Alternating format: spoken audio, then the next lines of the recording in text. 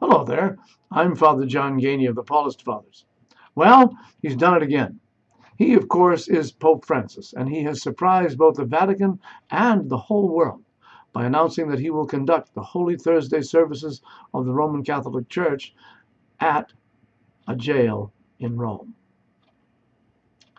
The Vatican has a long memory, and no one can remember the last time that the Pope celebrated Holy Thursday in any place other than the Basilica of St. Peter in the Vatican or at the Cathedral of the Bishop of Rome, which is the Basilica of St. John Lateran.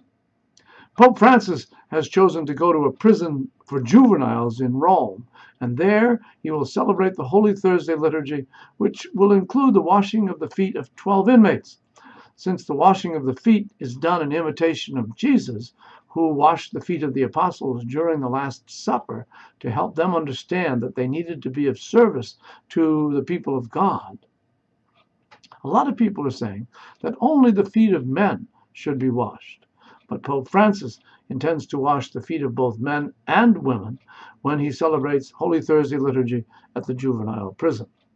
Another sign of the Pope's determination to embrace all God's people in his actions.